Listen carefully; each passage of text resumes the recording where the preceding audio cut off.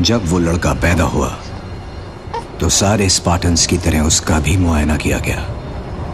अगर वो बहुत नाटा या कमज़ोर या अपंग होता तो उसे फना कर दिया जाता।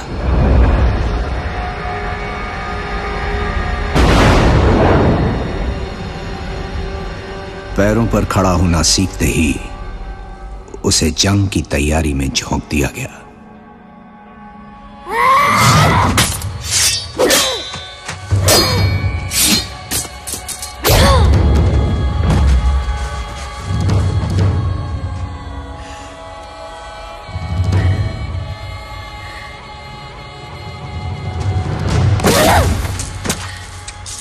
उसे सिखाया गया, न कभी भागो, न कभी घुटने टेको। उसे यह भी सिखाया गया कि मैदान जंग में स्पाटा के लिए शहीद होना ही सबसे फख्र की बात है।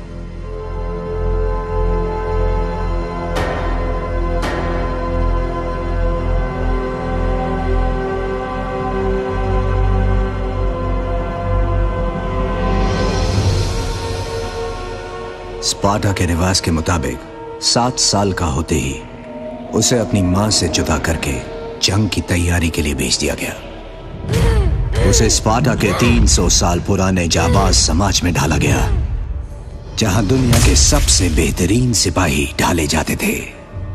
वतन से मोहब्बत लड़के को मजबूर कर देती लड़ने के लिए, भूखा रहने के लिए, खाना चुराने के लिए और ज़रूरत पड़े तो कत्ल करने के लिए। उसे बेरहमी से पीटा जाता। बर्दाश्त सीखने के लिए, दर्द सहने के लिए। आजमाइश के लिए उसे जंगल में अकेला छोड़ दिया गया, ताकि वो अपनी हिम्मत और अकल से कुदरत के कहर का मुकाबला कर सके। जंगल की वो रात, उसकी हिम्मत का इम्तहान थी। या तो वो एक जाबाज स्पाटन की तरह लौटेगा, या वहीं मर जाएगा।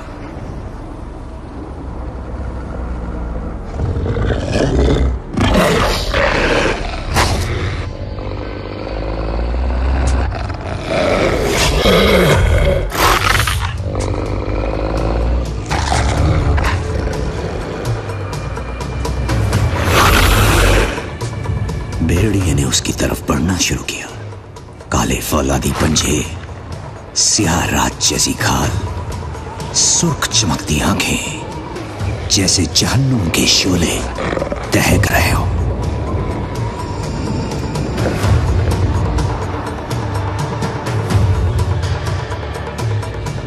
विशाल भेड़िए ने आने वाले शिकार की खुशबू सूंघ ली थी।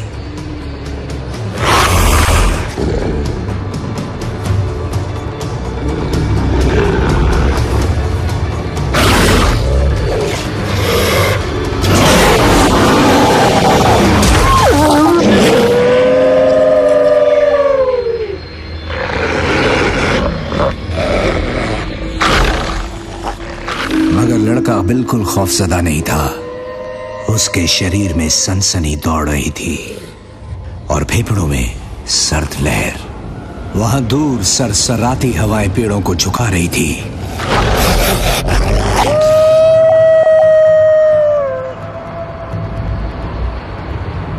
लड़के के हाथ तन गए और उसका निशाना अचूक